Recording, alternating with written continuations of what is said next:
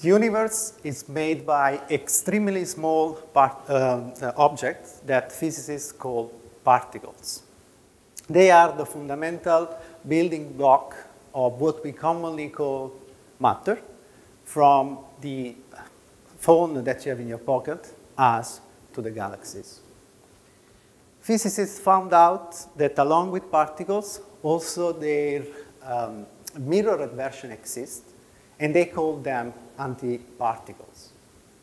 When a particle and an antiparticle meet, they destroy each other um, and uh, uh, release energy under the form of light.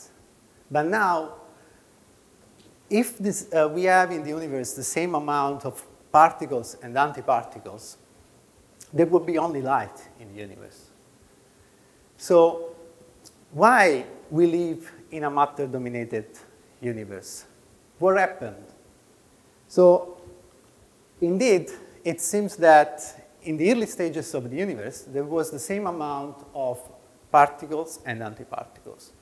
But at certain point, all of the sudden, that sudden, this equilibrium broke, and we ended up having more particles than antiparticles, causing what I would call a crack in the mirror. But how can we understand what happened in the early stages of the universe? Why the universe evolved in this way? One of the most fundamental building blocks of our universe that can shed light on this intriguing mystery is neutrino. There are three types of neutrinos in nature, and they can transform one into another uh, while they travel from one place to another. This phenomenon is uh, called by physicists neutrino oscillations. Uh, uh, like neutrinos, also the mirrored version, antineutrinos, can oscillate. And if the amount of time they oscillate is different, this asymmetry between the two can shed light on the matter-antimatter asymmetry in the universe. And we would have catched the crack in the mirror.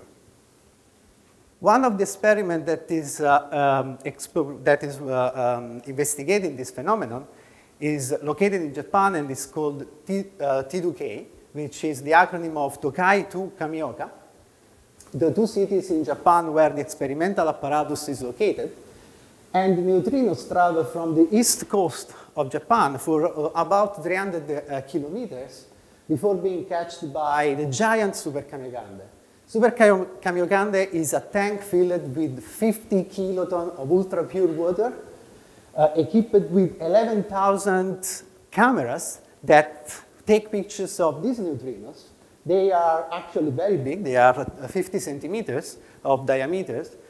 And why it needs to be so big? Because neutrinos are very shy and hard to catch, and we need very large volume to, uh, uh, to, to take pictures, to maximize the probability to take pictures of that. T2K started operation in uh, uh, 2009, uh, and after 11 years of activity, in 2020, myself and other 300 people that work on T2K published what it seems to be the very first indication of matter-antimatter asymmetry between neutrino oscillations. More investigation is needed to make sure that it's really there and that can shed light on the matter-antimatter asymmetry in the universe. So stay tuned uh, for about other 10 years for future announcements. Thank you.